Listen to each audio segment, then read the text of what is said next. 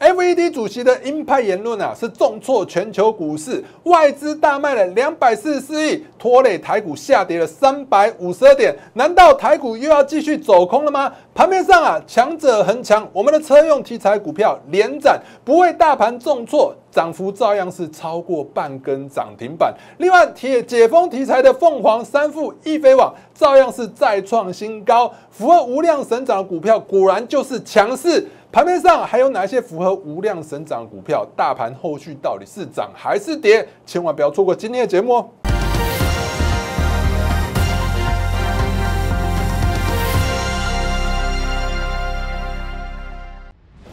资获利，放眼未来，想要跟我一起使用融合总经面、基本面、技术面，面面俱到的投资方式，掌握股价关键买卖点。欢迎加入我的相关媒体频道。加入之后记得要按赞、订阅加开启小铃铛哦。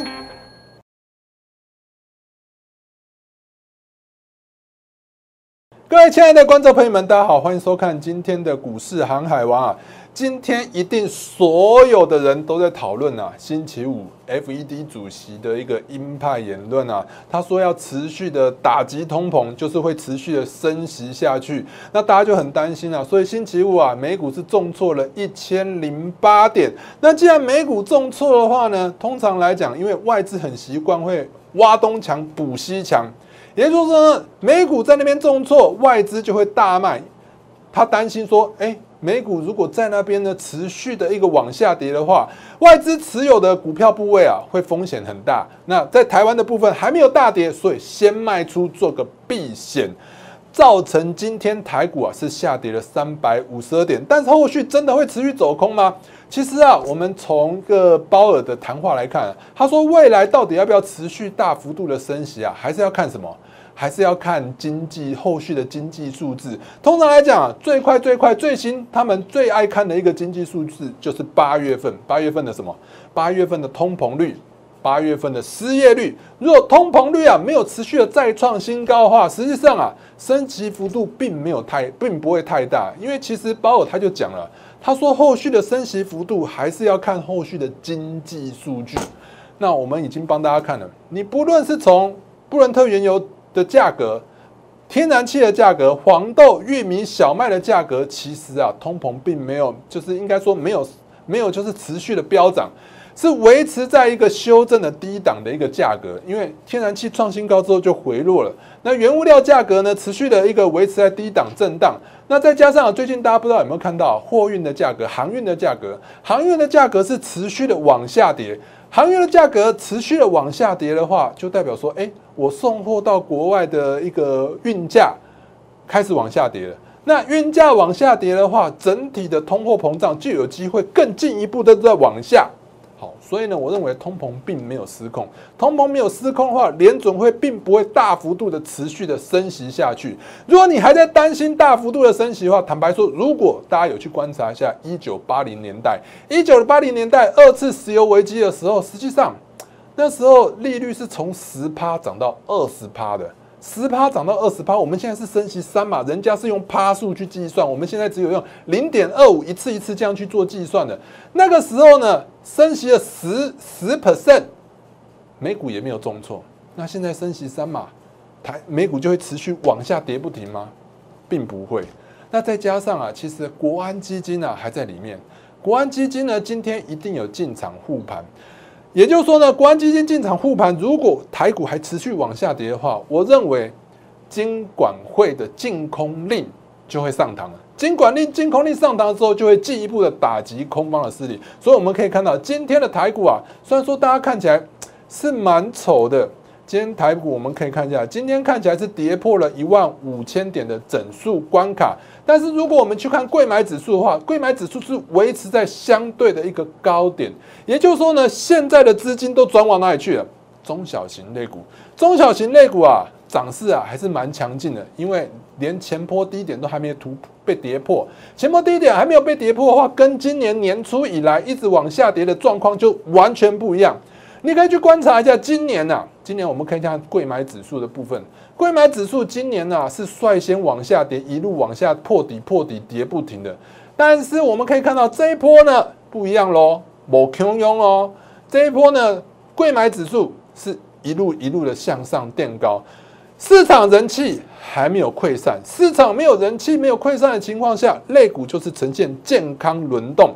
健康轮动的情况下，多头就没有改变，大家不用太担心。只是在升息的情况之下，你说指数要喷呐，也是蛮难的。那但是我认为啊，这指数不会走得太差。其实像如果你是我们的会员朋友的话，我们早上跟大家预期是完全命中。来，我们可以看一下，我说啊，我最后跟大家讲，我说其实啊，市场金融市场上除了疫情、通膨跟升息还有战争之外，并没有出现新的利空。没有出现新的利空的话，台股持续重挫的几率是很低的。所以呢，我是预计什么？今天。开低之后震荡跌幅收敛的几率是比较大的。我们看一下今天的盘势，是不是开低之后呢震荡，然后呢跌幅收敛？有没有看到开低之后震荡跌幅收敛，一直在往上震荡走高？好，所以你看一下，完全符合我们的预期。那如果你不是我们会员，说真的，如果你能加入我们的一个媒体频道的话，你看一下我们的媒体频道。我们在昨天下午啊，其实我昨天下午就有跟大家讲，看昨天的一个下午，哎，好上午哎，上午十一点三十三分，就早上我就跟大家讲了，我说啊，道琼指数下跌一千点不用担心啊，对啊，因为台股的涨势本来就是落后于美股啊，明天不见得会更迭，就算真的会更迭，其实影响较大的还在哪里？你看我都帮你写的一清二楚，影响最大的在哪里？下半年受库存影响的，那我摆明的是指什么？库存高的是什么？电子类股嘛，利率敏感度最高的还是哪里？还是科技类股？外资会撤出来？今天外资有没有大卖两百四十四亿？完全是命中的，完全符合这三种象征的，只有在哪里？电子全指股。那我说现在只是上涨过程当中的修正阶段啊，也就是说你手上有电子全指股，你要比较小心留意，有没有？我还要付什么？付美国十年期的公债值利率啊，还有道琼指数来给大家看。你看道琼指数都帮大家画的一清二楚。所以呢，如果你不是我们会员朋友，我们的早上的盘前资讯真的也非常重要。你还没加入的朋友们，现在就加入吧！打开你的手机相机，扫描这两个 Q R code，就可以分别加我们的 Line 跟 Line 跟 YouTube 的频道。我们的 Line 呢，如果你想用关键字的方式搜寻，你可以打小老鼠 GD 一七八八。小鼠 GD 一七八八，另外我们的 YouTube 的频道的部分呢，如果说呢你帮我加入之后呢，记得要订阅、按赞并开启小铃铛。另外呢，你可以看一下我们对大盘的掌控度有多高。台股呢持续重挫的几率很低，所以我已经预期了什么？今天会开低震荡，也就是说呢，我对大盘的掌控度很高，所以我们的棋子才会四连胜，已经连四胜了，没败绩，从来没输过。我们的专案的部分，就是因为有送了期货十名，现在前十名已经完全，已经全部都送出去了。好，如果说还没有还没有加我们的朋友，你会发现啊，我们的无量生长真的涨不停啊。我们的前顶其实还是维持高档。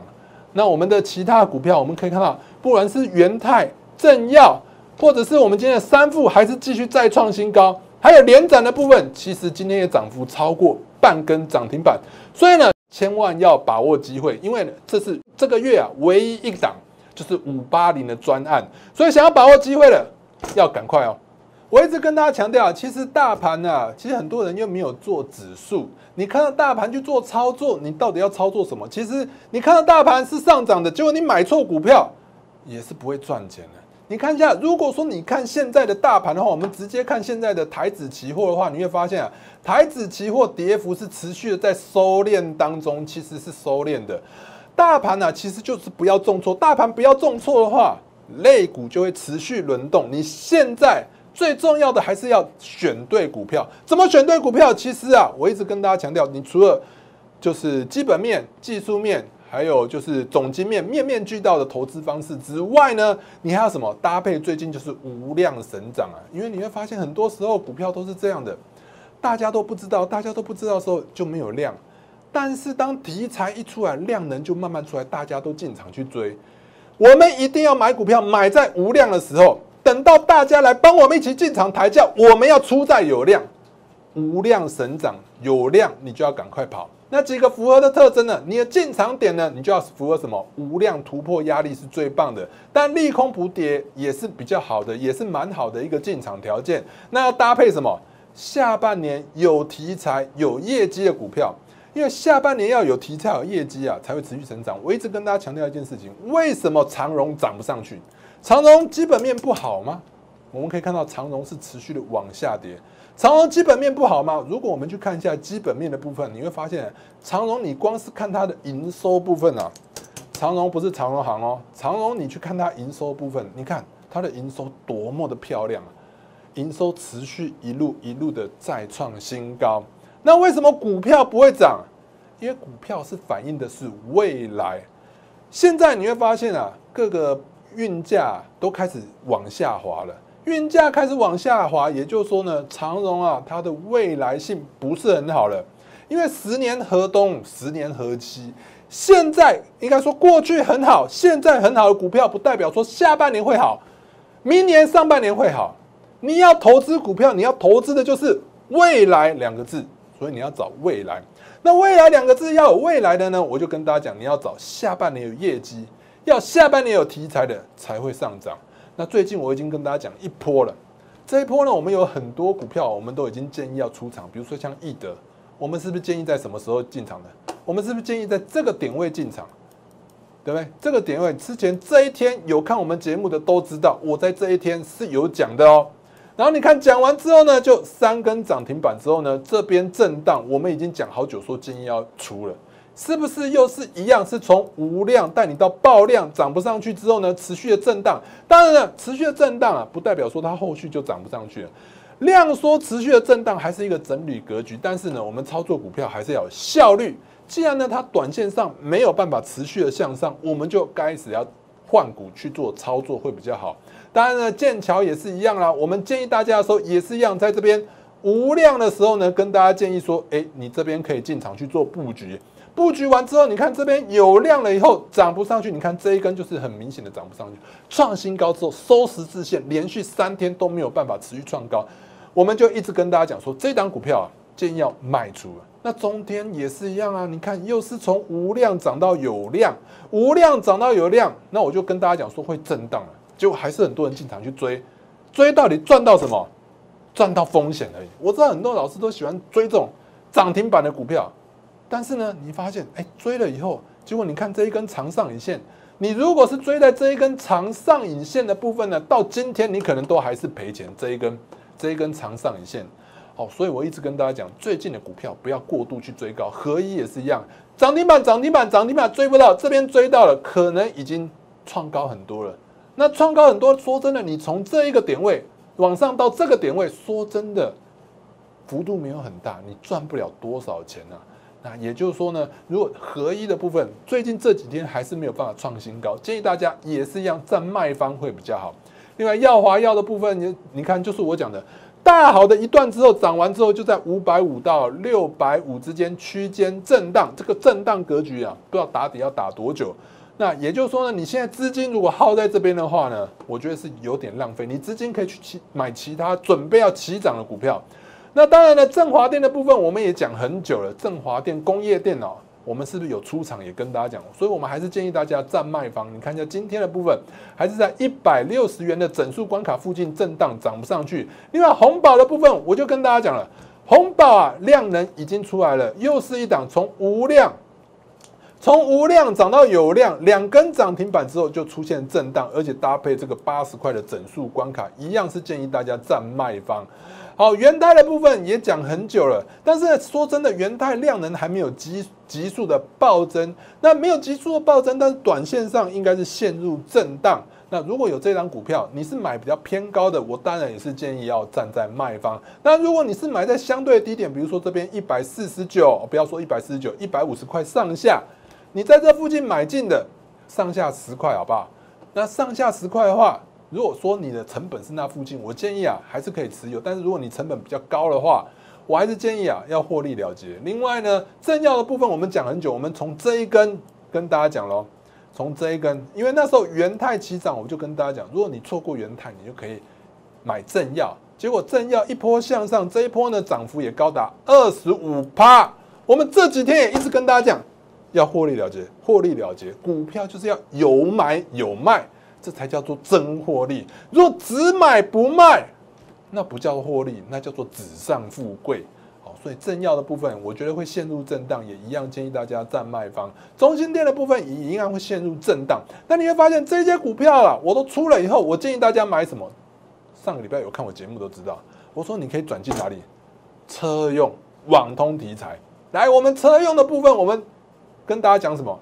说车用的连接器的部分，你看到嘉泽大涨。嘉泽大涨呢？这边因为嘉泽是七百元的股票，它七百元的股票，如果你嫌它太贵，七百元的股票你就可以去找什么连接器相关的类股。那我们那时候也帮大家找到连接器相关的类股，包括呢比较便宜的有建和清、全新还有联展这三档。那我们也帮大家做一个基本面的比较。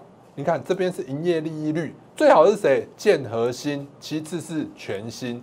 在其次的 EPS 的比较，你会发现啊，一样最棒的是谁？建核心稳定持续的向上增加。那全新的部分呢是震荡走高哦，连展的部分还在亏钱。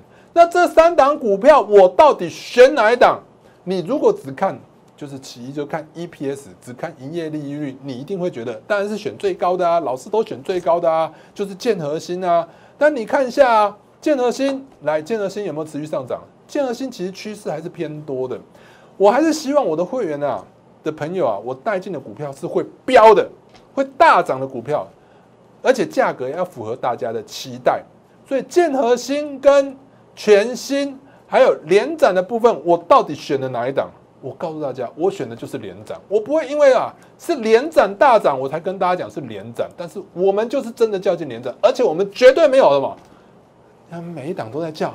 哦，既叫了连展，又叫了建和新，又叫了嘉泽，然后呢，连展大涨，再来跟你讲，不好意思啊，全国的会员朋友都可以作证，我们只有较劲连展，连展有没有专案会员连展试价买进，是今天才讲的吗？是涨停才讲的吗？八月十八号试价进场买进，来，八月十八号在哪里？八月十八号是不是大概在这个位置？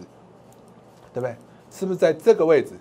这个位置附近进场的，这个位置附近进场的，我是不是帮大家扎扎实实赚到了一根涨停板？跟很多老师在那边讲说，哦，你看你跟着我进场，现买现赚，现买现赚涨停，一开盘就涨了三趴，涨停板你最多算十趴好了，三趴再涨上去涨十趴，你也不会就赚七八趴，而且很不好买，你又买不多，一下没买到。又买不到，看到涨停只能看着它眼巴巴上去。那我们呢？震荡的时候就叫大家进场去做布局，扎扎实实赚到一根涨停板之后，今天呢？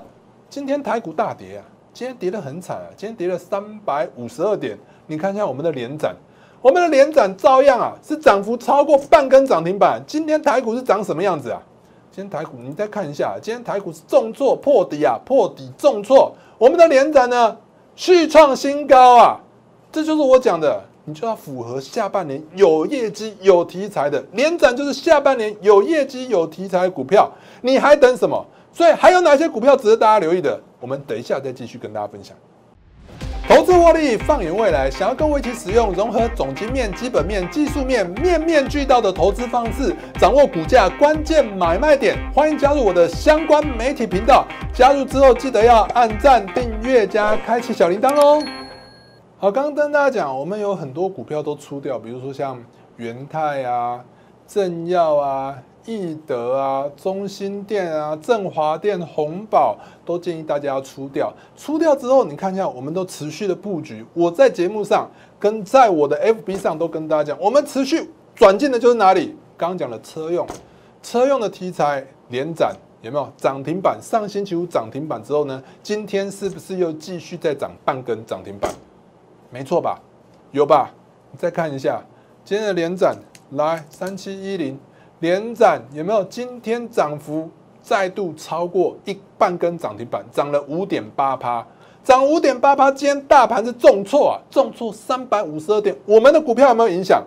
完全没有。那你再看一下，我们刚跟大家讲，我们除了车用之外呢，我还建议往哪一块？网通。网通族群的话，我们都知道，网通大家过去只会看什么设备涨。那其实我一直跟大家强调，网通你要看的是设备厂、光通讯，还有治安。治安这一块呢，因为量能比较小，我不建议大家去做。那设备这一块呢，说真的，它的因为筹码比较凌乱，它会涨，但是它不会飙。那我们的会员呢，都是布局在网通族群里头的光通讯比较强势。好，那不信的话，你看一下设备厂的部分，我们可以看到中磊最具代表性的中磊，大家可以看一下中磊的部分，中磊的部分，你看一下大涨之后呢？就持续的震荡，震荡只有涨一点点哦，从九十块涨到了一百零五块，十块钱之后呢，就持续的震荡，震荡。那你看这边呢？你看，就像我们讲的，爆量上涨之后呢，在没有办法在短期之内持续的创新高，这时候你应该要获利了结，但是你没出掉，一直爆，一直爆，爆到现在赚钱变赔钱啊，美梦成假，是不是？如同我们讲的，一路的往下重挫。跌破了月线，设备厂走势不是这么漂亮。那你再看一下智邦的部分，也是传统的设备厂，走势是也没有没有那么漂亮，高档持续的震荡。那你看一下我们帮大家布局的网通族群呢，华星光维持在相对高档，光盛维持在相对高档。当然，我们真的布局的是哪一档？这样光通讯，我们从底部无量神涨啊，是不是从无量？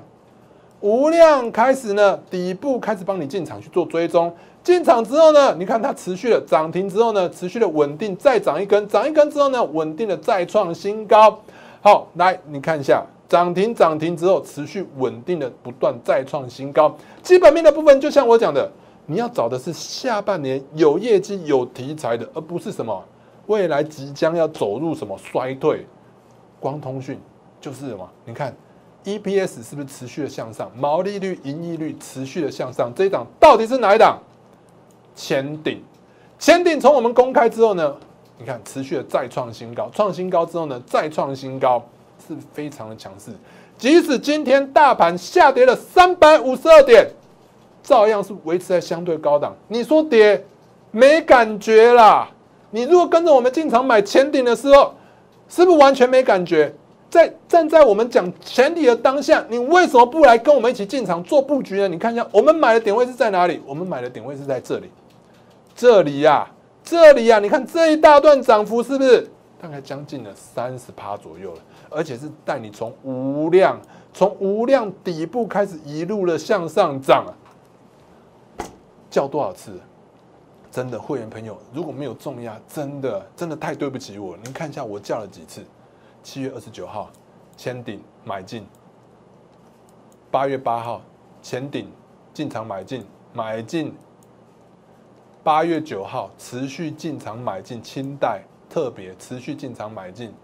八月十七号，持续试价专案，羚羊也进场一起买进，直接试价买进。八月十七号，八月十八号，前顶限价单四十元进场买进。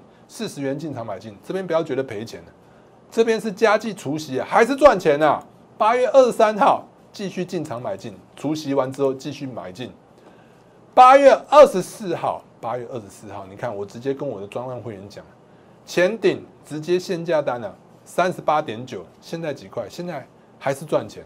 我说啊，如果你手上啊有没有赚钱的股票，你全部集中到哪里去？前顶，你看我们跟别人到底哪里不一样？我们是做对了，一路帮你加码重压布局，一直加码重压布局啊！你看是不是火力全开，重压布局才会赚？你道一百万买那个十万、二十万，涨幅三根涨停板又如何？就像我讲的，哎，你看到哎进场去追，没追到就涨停板，追到了结果不是你的，追到结果你是追错的，是不是常常有这种感觉？一堆老师带你去追高，你真的又不好买，买又买不多，真的追高了，追到了，刚好又是错的那一档。你看，我们直接较劲了几几几次，来，我们较劲了几次。八月来，七月二十九号较劲一次，八月八号两次，八月九号三次，八月十号四次，八月十六号五次，八月十七号六次，八月十八号七次，八月二十三号八次。八月二十四号九次，来，八月二十四号的昨天就是什么？就是八月二十五号，十次，总共较劲了十次啊！总共较劲了十次，你看这个波段涨幅有多大？三十 percent，就是这么赚。好，你看一下我们怎么带，我们跟别人不一样的地方，我们就是啊，持续帮大家火力全开，重要布局做对了就一直加码，一直加码，一直加码，买到大赚为止，有没有？好，那时候我们为什么会挑到前顶？你看一下那一波，其实啊，这波网通图景啊，最先上涨的其实是谁？是重旗。但是你会发现啊，你如果七月底去追重旗的话，有没有前顶表现的这么漂亮？没有。你这根进场去追，有这么大波段吗？没有。你看一下我们的是什么？月底进场去追，追完之后，你看我们不是追啊，是低档布局啊，就一大段，三十八大概左右，三十八左右。加计还原全值，一比较就知道孰强孰弱。来这边追高进场赚不到钱，我们低买大赚一波。你说钱怎么赚？现在台股大跌三百五十二点，与我们何干啊？完全没有影响。那你再跟我讲说啊，老师你是不是有讲那个解封题材？解封题材好像很弱哎。那其实啊，解封题材到现在还有讲的，大概只有我了。八月二号，哎，八月十号。八月二十二号持续跟大家讲解封题材，那你说我们布局哪一档？来三副，昨星期五涨停，凤凰也是一样，星期五涨停，易飞网也是星期五涨停。但是这三档，三副凤凰、易飞网，我们到底买了哪一档？哪一档？来，八月十五号三副，为什么我建议选三副？因为券资比够高啊。它的券资比够高，如果你懂券资比够高的话，涨起来会逼着很多空单要干嘛？要回补啊！空单回补就有新的买盘，新的买盘进来呢，就搭配它的一个高空行情，就持续的向上。所以我们可以看到，今天呢这三档股票谁比较强？三富就是三富比较强势，就是因为它的券资比比较高。来，我们可以看到，我们就跟大家讲的明了，三富。上柜券资比高达六十三趴，为上柜券资比排行的第二名啊！来，八月十九号，我持续的跟大家讲，三副就直接可以进场了。你看，我们就讲哪一档？三档股票里头，我就帮大家挑出来最强的一档。今天呢，你说大盘在跌，旅游类股在跌，今天的三副到底涨几帕？今天三副，来。今天三副我们可以看到，今天三副照样涨三点八趴，是续创近期的新高啊，续创新高啊。那你说这后续不就是转多了吗？如果三副能持续向上的话，你说其他的旅游概念股有没有机会？如果你手上有旅游概念股，真的跟我们一起进场操作吧。我们这一波啊，月底唯一的一个专案来五八零专案即将要结束了。目前啊，上个星期因为反应太热烈了，前十名的期货讯号全部都送出去了。如果你想加入的话，我们现在有额外增加，只有五名，就只有五名送期货讯号。你如果说不操作期货的，你也可以从我们的期货讯号当中呢，学会什么技术分析。另外，我们的旧会员的部分也有好康啊！你看前顶已经大赚，我们续约啊，还有免费的升等。说真的，好的股票真的不用多。你如果错过了元泰、正耀。前顶，我们即将要布局省长接班人，等你来接班，跟着我们一起进场做布局。想要跟我们一起进场做布局的，可以透过下面的电话零八零零六六八零八五，或透过我们旁边的 Line 来直接跟我们联系。今天节目到这边，祝大家操作顺利，我们明天见哦。